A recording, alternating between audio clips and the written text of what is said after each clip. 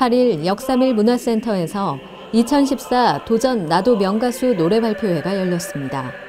강남문화재단이 주관한 이번 발표회는 강남구 각동 문화센터 및 평생학습관 노래교실 회원을 대상으로 각자의 기량을 뽐내고 이를 통해 회원 만족도 및 시설 이용률을 향상시키고자 마련됐습니다.